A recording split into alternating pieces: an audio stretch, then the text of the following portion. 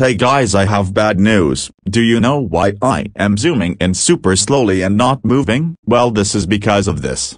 And yep it's my fault for actually updating the beta version of 16, because iOS 16 would not work on ibisPaint X anymore. That's because I want to see the interesting lock screen and that's it. What's worse is that I don't have a laptop which means I can't downgrade without that. And yep I had to wait a ton to ibisPaint to notice the error situation. And yes this is happening to users already. So yeah, I don't know what will happen to his channel with the important app being ruined by the update. Right now I am using Procreate which I have never used it for my videos for almost 3 years. And yep it's going to take so long to make videos. Don't worry, TGFFR8 will be in progress, and I don't know what will happen to all of my series. Anyways, goodbye.